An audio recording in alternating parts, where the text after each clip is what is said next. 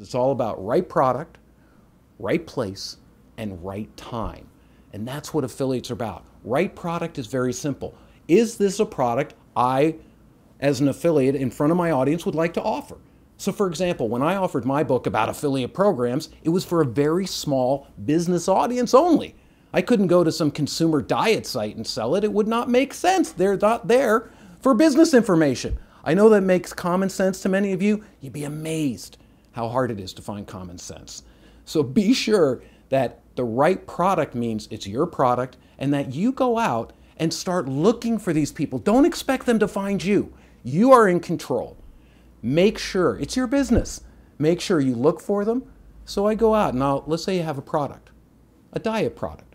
I'll go Google the word diet and I'll go see who's out there, who's offering products, who might be a possible partner for me that I might be able to engage, introduce myself, and become, hopefully, an ongoing business partner with them.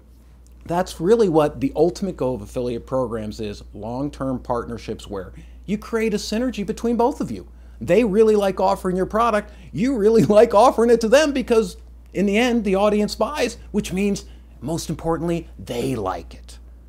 Because if they don't like it, the audience, then you just got to keep going back to square one. So remember that right product.